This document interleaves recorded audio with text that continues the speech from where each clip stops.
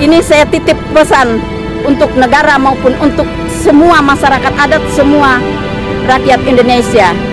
Tuhan hanya satu kali ciptakan bumi ini dan bumi tidak akan pernah bisa melahirkan bumi. Apalagi kami seorang manusia, seorang perempuan hanya bisa melahirkan seorang anak manusia untuk penghuni bumi ini. Kemudian jika hutan dibabat, bumi dikeruk, rakyat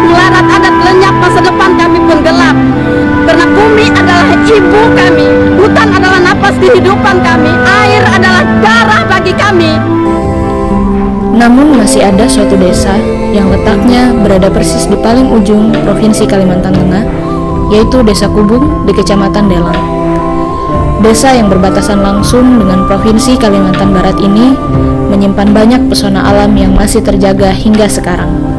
Suku Dayak Tomun yang tinggal menetap di kawasan tersebut sangat kokoh dalam menjaga serta mempertahankan alam yang mereka miliki sehingga kesejahteraan masyarakatnya pun ikut terpelihara hingga saat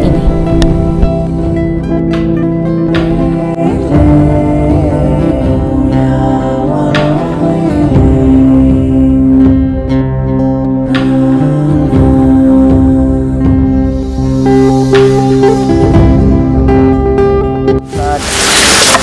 kalau misalnya eh, hutannya udah nggak ada lagi eh, perasaan kamu gimana bahwa kami nggak ada hutan gimana cara Nathan jaga hutannya Tan?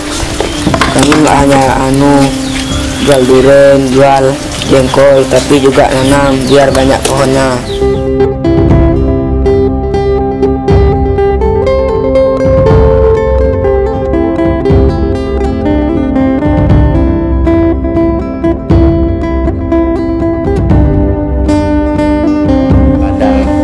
sini kan, jadi kita bisa berpikir bagaimana kita bisa menghasilkan ke depannya dengan menjaga.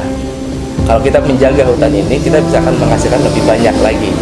Kadang-kadang ada ya, ada pemuda yang kadang cuek, ada yang kurang peduli. Mungkin mereka belum tahu apa efek-efeknya kalau kita nggak menjaga hutan. Bag- kalau misalkan hutan terjaga, jadi masa depan kita terjaga. Yang pastinya kalau di kota itu serba duit, kalau di kampung ini menghasilkan duit. Yang penting mau kerja keras.